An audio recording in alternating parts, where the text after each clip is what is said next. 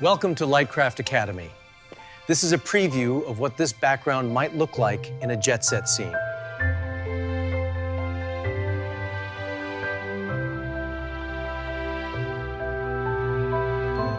Welcome back to Lightcraft Academy. I need to hire that guy. I could not have said that any better myself. It's great to be back on a green screen back in Southern California temporarily. Soon headed up to a remote Alaskan Eskimo village uh, on the Yukon River with four students where we will continue doing the sort of virtual production Jetset that we did a year ago, September. But it's great to be back on, uh, on my home turf. The theme today, I, I want to talk briefly about this, this epiphany. I've been using Midjourney since day one for this channel and really it's been my go-to for designing backgrounds. But I'm noticing now that we have other options as well. Uh, and when I go to a voiceover, I'll explain a little bit. I want to revisit that topic later on. What I really want to focus on today uh, is another discovery and potentially a frustration when you are, or when I am designing sets. It has been difficult to design a single set like this living room, uh, but design it with different uh, time of day. It's hard to replicate a set and, and change the daylight to nighttime, dusk, dawn, midnight, broad daylight, uh, without the AI changing the backdrop. What I've been looking for is a way to recreate the backdrop with the same couch and the same chair and the same tables and the same plants and everything else, but instruct the AI to change it to, let's say, a nighttime shot. What if we could do this? Now I am in this very, very same room, but it's nighttime. And I'm using Beeble uh, to do some relighting.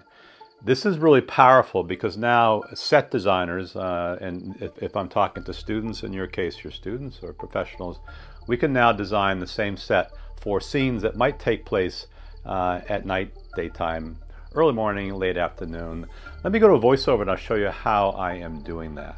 I have just begun to investigate alternatives to Midjourney's text-to-image capabilities versus some emerging AI options, and in this one comparison, I fed the same exact prompt into Midjourney, and again in this case, Artlist.io.